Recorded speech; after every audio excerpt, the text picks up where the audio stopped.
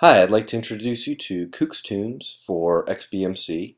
It is a rich internet application built on qooxdoo and it allows you to manage your XBMC music library much like iTunes does. So here you can see I've just loaded up my library and uh, you can see there's a very responsive interface uh, in terms of how fast you can scroll through these tables.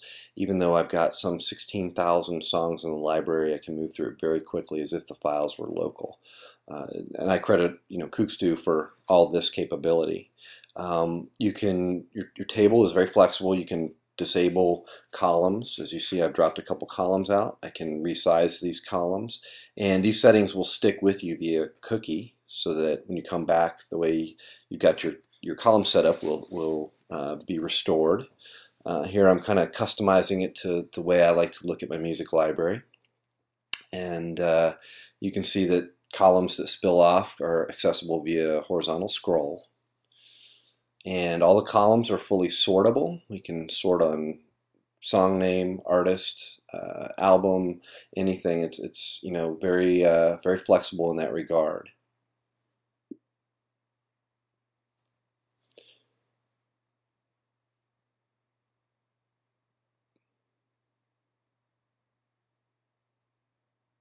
There's search capability. So here I've searched for Cure but that's a little bit broad because there are songs and album titles that match that. But if I want to match the band The Cure, I can select artist, specifically match against artist, and here you see uh, a fairly substantial collection of Cure music. I'm giving away some of my musical taste here. Here's a band Dive, and I can edit the info. This looks very familiar if you're used to iTunes. Uh, you can you know cycle through the songs and look at the information. Where available, the artwork will show up here. And we can actually make edits to that information. Uh, for example, here's a band or here's a song that was miscatalogued and the artist was listed as compilation and the artist name showed up in the, the song title. So I'm going to correct a few of these things here. Correct the, the song name and go, on, go ahead and save that. And you notice it's no longer where it was in the list because it's now moved under Secret Cajun Band in the sort order. And we can still find it. And we can take a look at it and you see that the information that I set has been updated. You can also make bulk edits. So if you wanted to make changes to a number of songs at one time, for example, my estimation cataloging Achtung Baby as rock would be wrong, so let's move it to alternative. And just like in iTunes, if you're going to uh, modify multiple tracks at once, there's a little checkbox next to each field that you want to apply to the entire group. And so now all those tracks in the Achtung Baby album are marked as alternative. There's full playlist management. Um, XBMC doesn't have fantastic playlist capabilities, but it does allow for M3U files, and those can be filed in different folders. And XBMC is gracious enough to honor, you know, uh, arbitrary depths in that in that organization, so we can put our playlists into multiple folders. And so you can see a couple playlists that I've got built out. And so we can see the tracks in there. We can select the tracks and edit them right from the playlist view.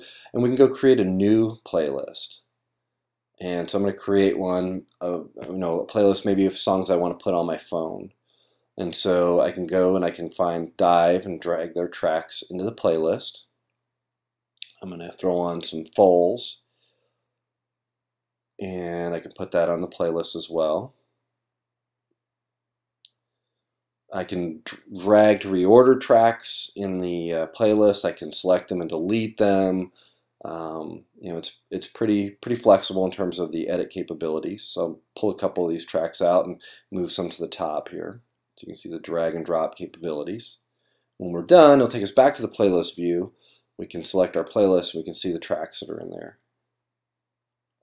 Now, how do I get those to my phone? Well, there's a couple options. One, uh, first of all, you can see that uh, we can cycle through the, the tracks in the playlist just as if they were in the library. And you can see the album uh, artwork there. So if we want to pull these down, to a device or to a computer, doesn't matter where you want to put them. Um, we can select them and we can export them, which will put them in a designated folder on your XBMC machine. So I've already made that available as a Samba share. So under my Open OpenELEC uh, host, I've got a Samba share, and now you see the dive and the Foals tracks available on that Samba share. So I could just go ahead and import those into iTunes on my Mac if I wanted to, or drag them onto an SD card. I can also download them. If I download them, um, they are pulled down in a zip file um, and it looks like maybe the aspect ratio here is cutting off the, the zip file. You can't quite see it down there in the bottom of my browser, but it's pulling down a zip file with all 10 tracks in it. And sometimes it can take a little while depending on the size and quality of your uh, MP3s or your uh, AAC files, and of course the speed of your, your XBMC host.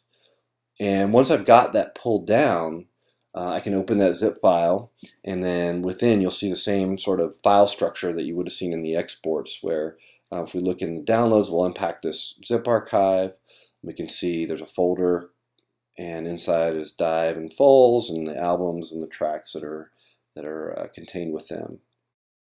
So you can see this opens up a lot of possibilities for a whole household to share a library on an XBMC host and be able to manage and transfer those files where you need to get them.